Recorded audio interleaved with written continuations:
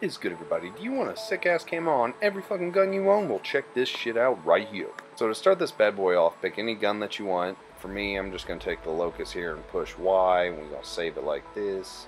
And we say yeah, and then we're going to go back into it real quick here.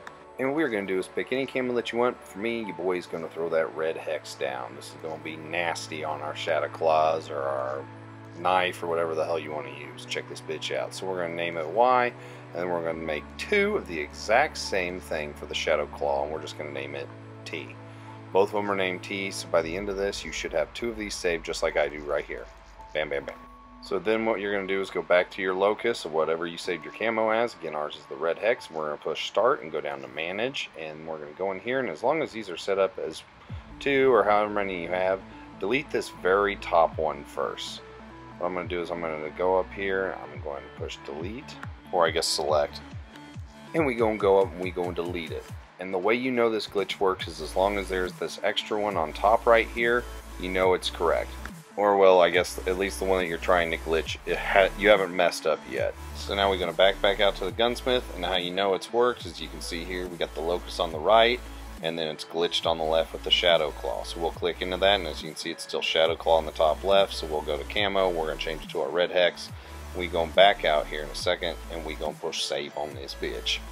Yep and we gonna save it. So now it's saved as Y under the locus but when you do this you back out you will see here now what am I doing? I go back here. Here we go losing train of thought. I'm gonna go back to my NX Shadow Claw. We gonna go over and boom baby look how sexy that shit is.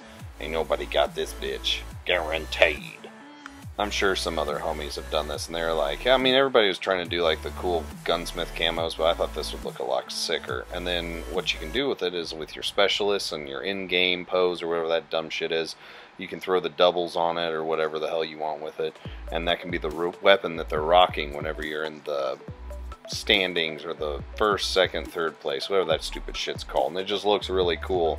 I've gotten messages already from it. People are like, dude, how did you get that? Like, what, which map on zombies you got to play to get it?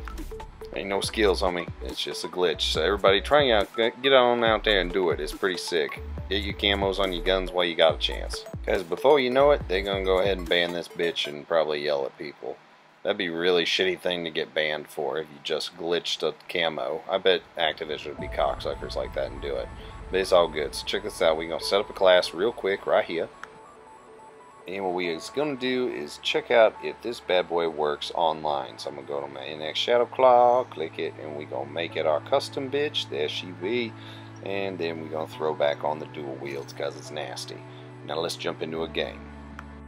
What is good y'all? So your boy had to cut the live com. As you'll see here, I jumped into a free-for-all game and right when I spawn in, for some reason, it doesn't take the glitch. That's real fucking boner killer right there. But it's all good. Just watch this shit here in a second. I'm gonna kill this dude and almost get killed by the faggot hiding in a corner. It's all good. Let's flashbang his bitch ass. we go run in here and we get laid down, but check it out.